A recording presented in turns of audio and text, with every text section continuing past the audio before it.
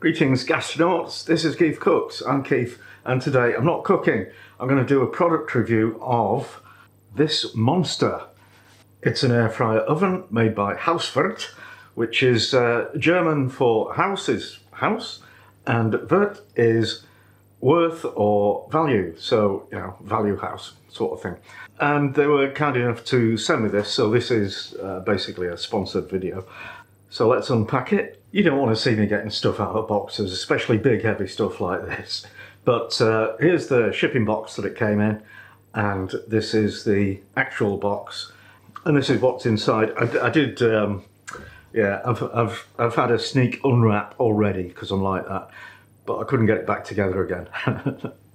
anyway, so what you get is ooh, a couple of bits of polystyrene. You get a user manual in several languages, you get a wire tray and a steel handle for the rotisserie. Oh yes.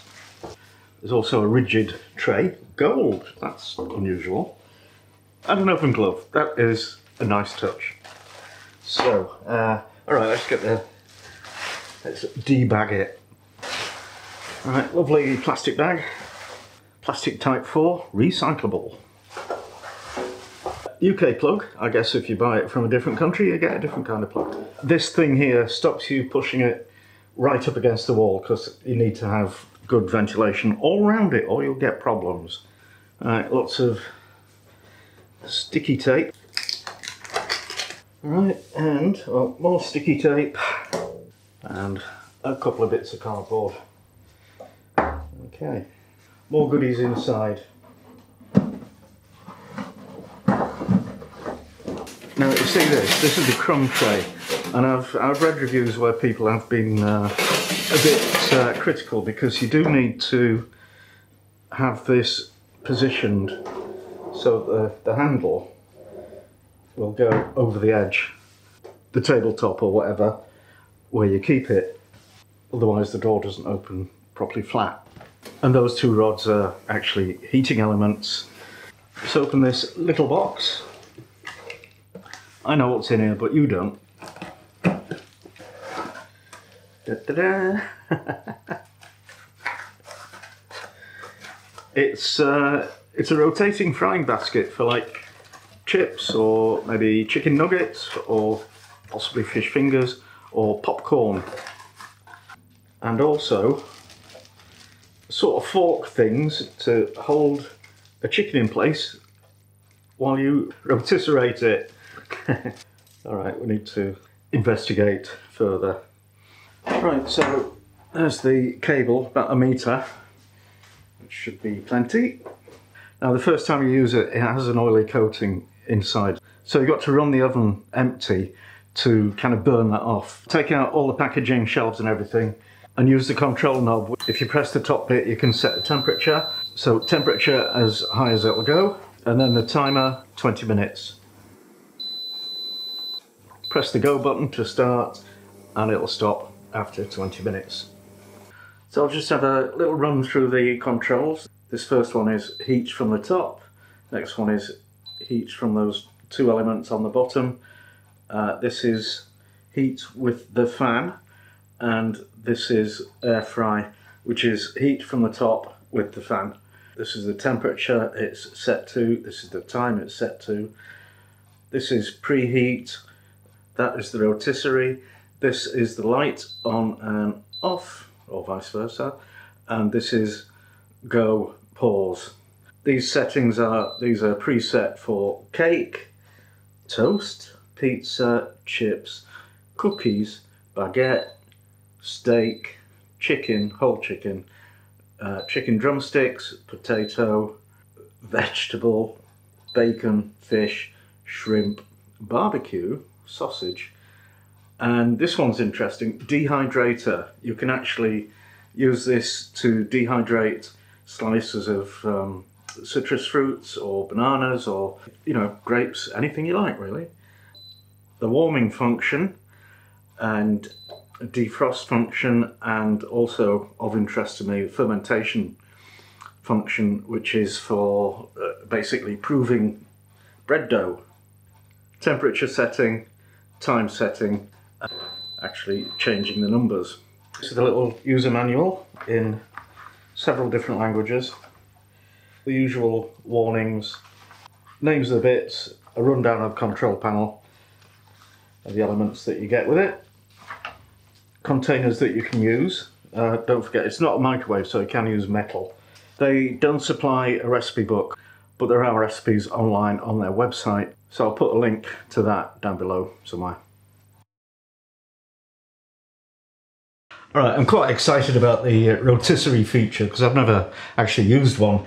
So what you get is uh, you've got a shaft which is a square profile and one end of it fits into the motor drive.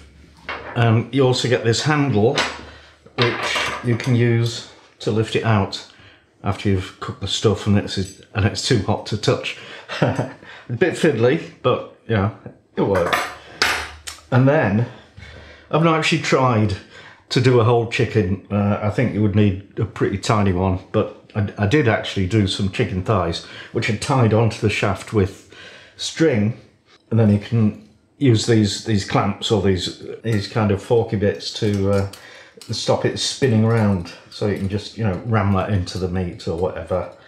Or the other thing is this basket which um, I'm going to use. I'm going to do some chips and some fish fingers.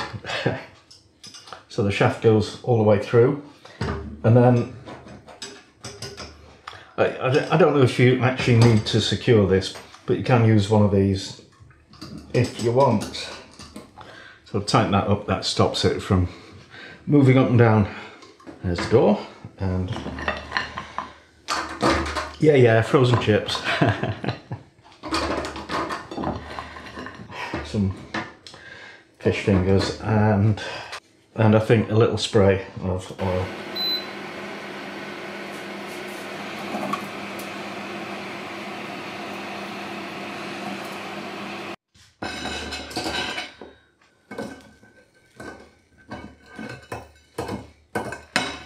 Okay, fish fingers. Not a great idea in this because, because they're all broken and the crumbs come off. Hey ho, now we know, don't do fish fingers in it. Rotisserie, fish fingers and chips.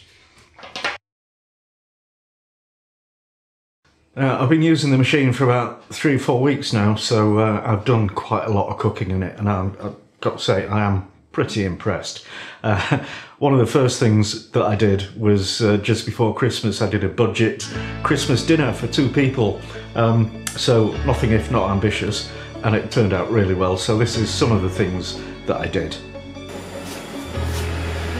Because it was a super budget meal, I used a turkey roll, cooked it for 25 minutes initially, and then added parboiled potatoes to roast for 45 minutes. Towards the end of this time I put pigs in blankets on the wire shelf and stuffing balls and roast parsnips on the shelf underneath. The wire shelf allows fat from the sausage and bacon to lubricate the goodies below. So I use the oven to cook stuffing balls, roast parsnips, roast potatoes and pigs in blankets and of course the turkey roll. It was a brilliant meal and all of those items only took 1 hour and 15 minutes. After Christmas, I made the uh, British classic roast beef and Yorkshire puddings and roast potatoes. Also, not short of ambition, and again, it turned out brilliant. Very pleased with that. I placed a big chunk of beef on a trivet of onion, celery and carrot and basted it with plenty of duck fat. After 20 minutes at high temperature, I turned it down somewhat and added some parboiled potatoes to roast. Again, plenty of duck fat to make them nice and golden and this wasn't intended to be a healthy meal, it was full on flavour. When the meat is cooked, we tent it in foil and let it rest. And while that's happening, whack up the temperature of the oven and add the Yorkshire pudding batter. Stick it in the air fryer for 10-15 minutes till it's risen and golden. But be aware that the heating elements in an air fryer in the top, so don't put the puddings in too high or you might burn them and you might need to turn them over at the end to cook the undersides for a few minutes. Then I did some baking. I made up some meat pies and baked them in the air fryer oven and uh, again, very impressive, fantastic.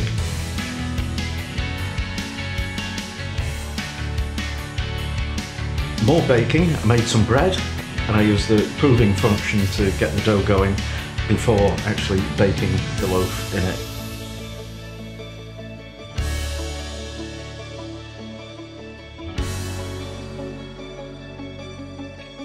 And again, turned out great. And finally, more baking. Pizza! Fantastico. So there we go, the Hauswirt K5 Pro air fryer oven. And uh, yeah, it's, a lovely bit of kit, very well made and uh, works really well. Now on Amazon UK it's listed as uh, £390, but um, there is a discount code which I'll put in the description below uh, that will get you a discount and we've got codes for various Amazon sites in Europe. Sorry, you can't get this particular model outside of Europe at the moment. So I hope you've enjoyed this review and if you want to jump on the air fryer bandwagon, you could do worse than get one of these. So up to you, but uh, I recommend it. Go for it. Thanks for watching and see you next time.